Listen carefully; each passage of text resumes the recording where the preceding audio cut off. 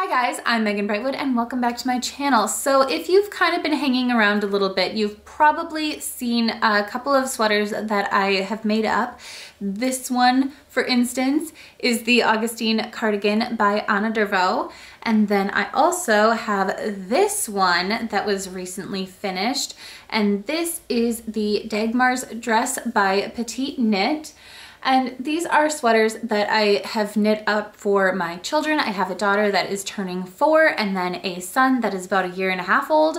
And yes, I've made these for them and they have now been worn a lot. So I'm going to go ahead and wash these, but since there is a little bit of a different process to washing my hand knit items, especially the ones that I've just gotten done doing, uh, sometimes I can get a little lazy if they've been worn a lot, but when they're fresh and new, then I like to be especially careful. So I thought that since I need to wash them anyway, I would show you my process. so if you are interested in how I launder my hand knit items, then just keep on watching. So welcome to my kitchen. I uh, am going to be using this stainless steel crock pot. It holds about eight quarts, I believe.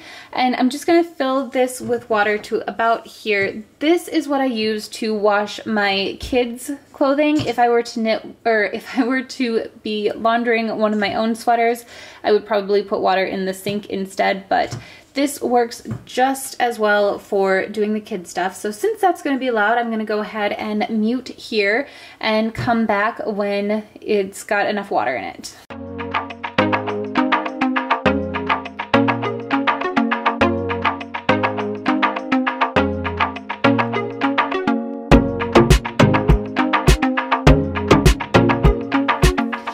I've filled it up about a quarter of the way so far, and I do like to keep the temperature kind of lukewarm to cool. And for the last bit, I only want to fill it about halfway. I am also going to be running this under the water. This is a wool wash from Tuft Woolens, which I can link below if you are interested. It's a lemon and eucalyptus scent, and this just helps clean the wool. So I'm going to go ahead and do that.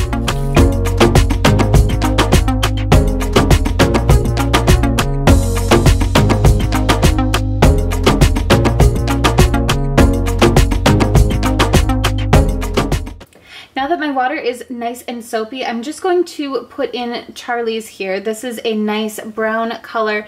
It's a lighter tone than Evie's dress, which is, you know, the deep bright red. And I don't want to get any of that red onto his sweater, so I'm gonna do them separately, but with the same water. So I'm gonna just gently push that under the water so that it's nice and wet. And then I'm going to let this sit for about 20 minutes. So it's been 20 minutes now, so I'm gonna go ahead and take Charlie's sweater out and wring it out just a little bit, being very, very gentle. I don't wanna twist or anything. I'm just kind of gently pressing any water out.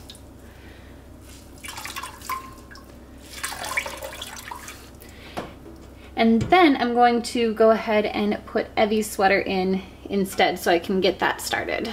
With Charlie's sweater, I'm gonna go ahead and just rinse off any excess soap so that it's not gonna get stiff or anything. And then I'm going to just try to get all of the water out again and set it out.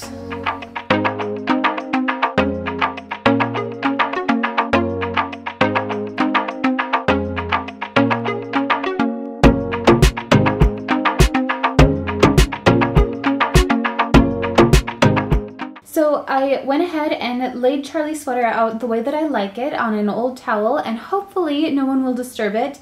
I do like to let my hand knits dry flat. They hold their shape so much better and just last a lot longer. So that is it. That is my process of hand washing my hand knits.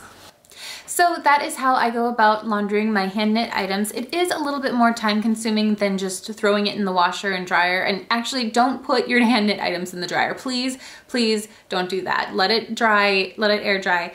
Uh, but yeah, so it's a little more time consuming than just throwing it in the washer, but so worth it.